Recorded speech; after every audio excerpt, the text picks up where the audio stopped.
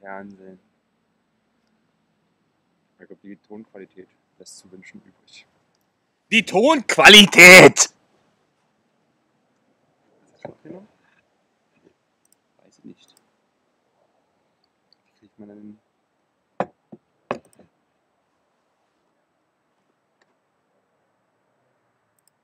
Hä? Der nimmt doch auf.